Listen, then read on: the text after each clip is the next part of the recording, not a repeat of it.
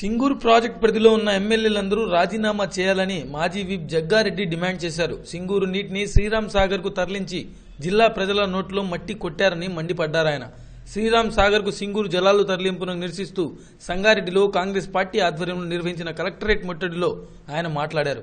నీటి తరలింపు ఆపే వరకు ఉద్యమం కొనసాగుతుందని ఆయన హెచ్చరించారు. ప్రభుత్వం స్పందించకుంటే తామే నీటి విడుదలకు అడ్డుకుంటామన్నారు. కార్యక్రమంలో పాల్గొన్న మాజీ మంత్రి సునీత లక్ష్మారెడ్డి మాట్లాడారు. ఏ హక్కుతో సింగూరు నీటిని శ్రీరామ్ సాగర్కు తరలిస్తున్నారని ప్రశ్నించారు. ఎలాంటి జీవోలు లేకుండా దొంగచాటుగా నీటిని తరలిస్తున్నారన్నారు. రాజకీయాలు చేస్తుంది డ్రామాలు ఆడుతుంది టీఆర్ఎస్ నేతలేనని ఎద్దేవా చేశారు ఆమె. సంగారెడ్డి జిల్లా కలెక్టరేట్ ముందు ఆందోళన చేస్తున్న కాంగ్రెస్ నేతలను పోలీసులు అడ్డుకున్నారు. దీంతో పోలీసులు నేతల మధ్య వాగ్వివాదం జరిగింది. దాదాపు గంట పాటు హైట్ డ్రామా నడిచింది. అనంతరం పోలీసులు ఆందోళనకారులను అరెస్ట్ చేశారు. పోలీస్ స్టేషన్కు తరలించారు